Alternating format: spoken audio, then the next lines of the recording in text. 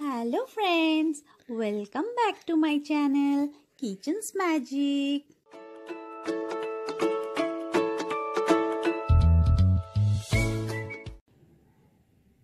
Hello friends आज मैं बनाने जा रही हूँ तंदूरी चिकन पर बिना ओवन का।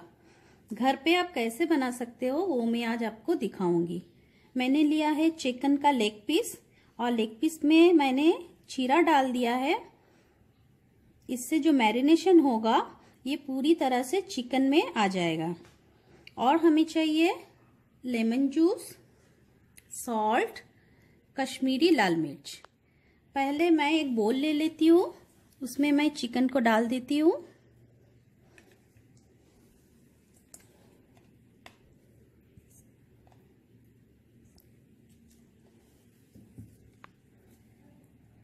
अभी मैं इसमें ऐड कर रही हूँ लेमन जूस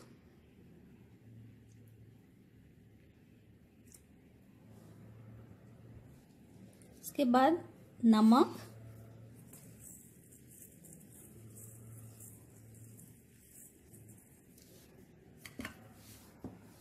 और कश्मीरी लाल मिर्च।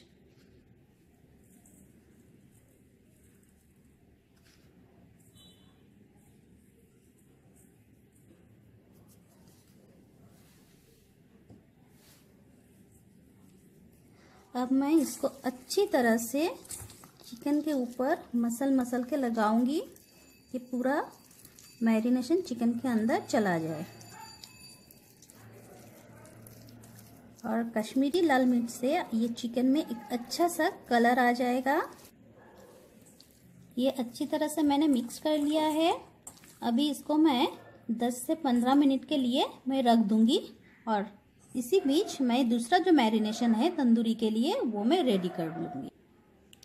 दूसरा मैरिनेशन के लिए मुझे चाहिए दही, जिंजर गार्लिक पेस्ट, धनिया पाउडर, जीरा पाउडर, थोड़ा सा गरम मसाला, लाल मिर्च पाउडर, नमक, और फ्राई करने के लिए बटर और ऑयल। मैं दोनों को एक साथ मिक्स करके ये बनाऊँगी। चलिए फ्रेंड्स अभी मैं दूसरा मैरिनेशन रेडी करती हूँ।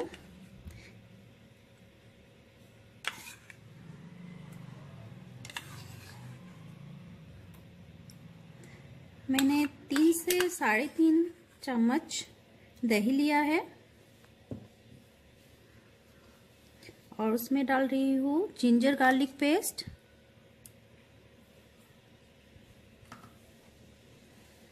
अभी मैं डाल रही हूँ जीरा पाउडर, धनिया पाउडर, गरम मसाला पाउडर,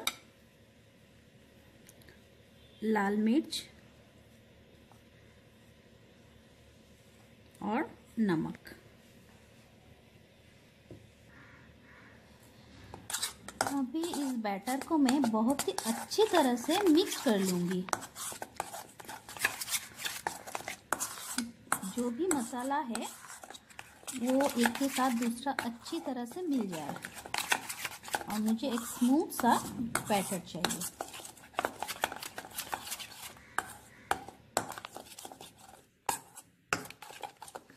मेरा मैरिनेशन रेडी है बैटर मैरिनेशन के लिए। अभी जो मैं चिकन अलग से रख दिया था, वो चिकन मैं इस मैरिनेशन में ऐड कर दूँगी।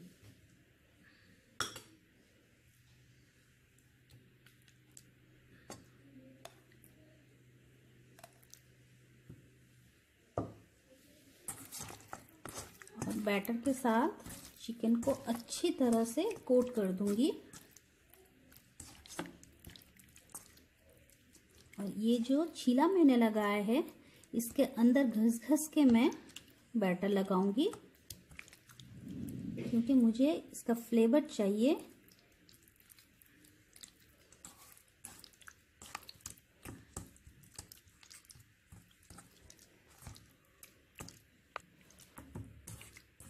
मैंने अच्छी तरह से मिला लिया है। अभी इसको मैं एक से डेढ़ घंटे के लिए मैं ढक कर रख दूँगी। आप चाहे तो इसे फ्रीज में भी रख सकते हो।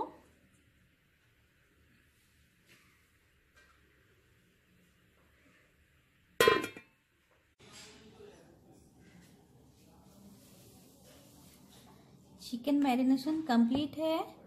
अभी हम चलेंगे फ्राई करने के लिए।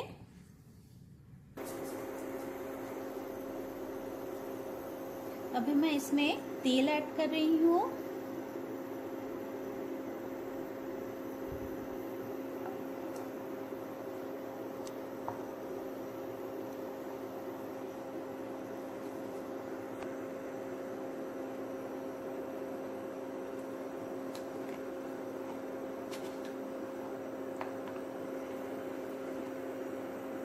और थोड़ा बटर भी मैं इसमें ऐड करूँगी। आप बटर की जगह घी भी ऐड कर सकते हो।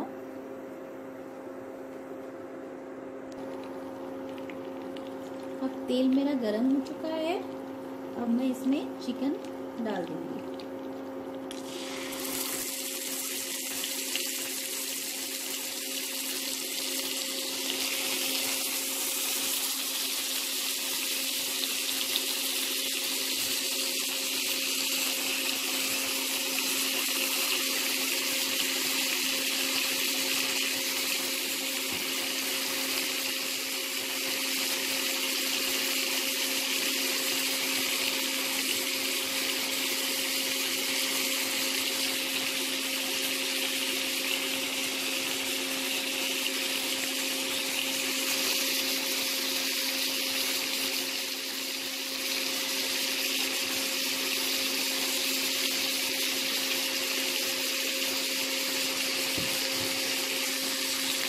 चिकन को हम एक तरफ़ पहले अच्छे से फ्राई होने देंगे, फिर इसकी ऑपोजिट साइड को फ्राई करेंगे।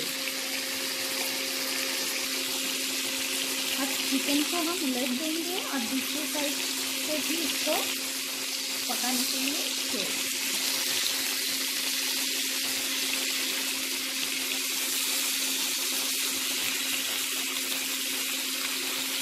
देखिए, कितना अच्छा कलर आ रहा है बिना तलने के भी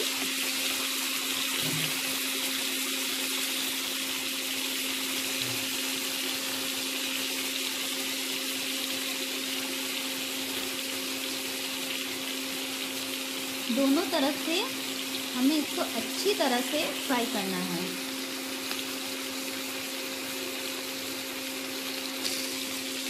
अभी फिर से हम इसको पलट देंगे।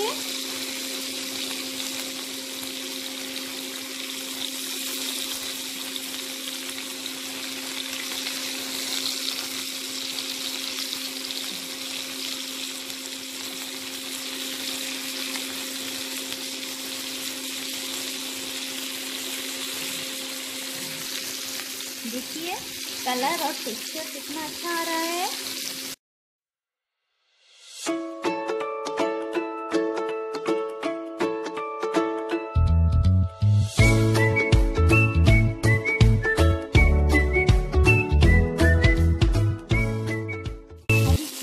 रेडी है।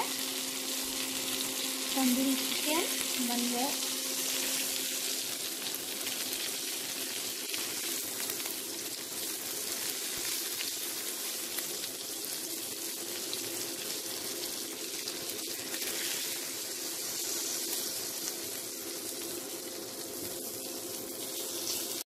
अगर आपको मेरी ये रेसिपी पसंद आए तो इसे लाइक ज़रूर करना और नए नए रेसिपीज़ के लिए मेरे चैनल को सब्सक्राइब करना मत भूलना।